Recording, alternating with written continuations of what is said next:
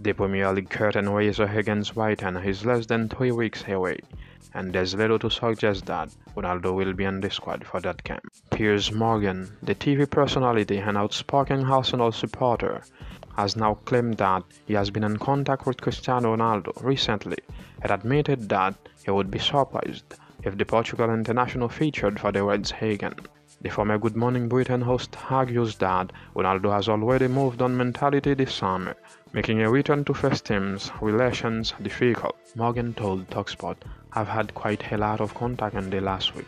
I certainly think it would be highly unlikely if Cristiano Ronaldo plays another game for Manchester United. I just think mentally he's moved on. I'm not going to say what I've said to each other, but like I said from the start, I don't think Cristiano feels Manchester United share his ambitions. I think he feels that the signings they are making, the commitment they showed last season, why they finished top, and the lack of Champions League football. If you are him and coming towards the end of your career, and you still want to win major trophies, you've got to make a calculation. Morgan is hardly known for his cutting-edge opinions, but an exit for Ronaldo does feel inevitable at this point.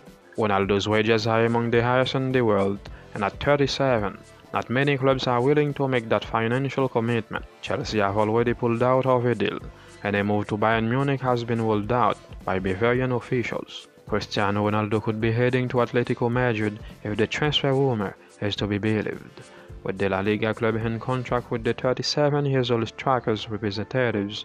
According to AS, it has been widely reported that the Portuguese is unsettled at Old Trafford after only one season back at the club and has been pushing for a move away from United, behind the scenes to a club with serious Champions League ambitions. But United boss Erik Ten Hag remains adamant his forward is staying.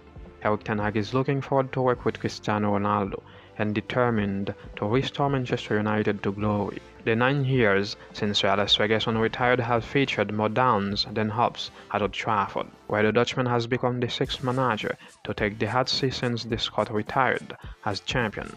United have not launched a sustained Premier League title bid since then, and former Ajax boss Ten Hag is relishing the challenge of getting the 20-time champions fighting for major honors again, with Cristiano Ronaldo remaining a key part of his plans despite rumors of a transfer this summer.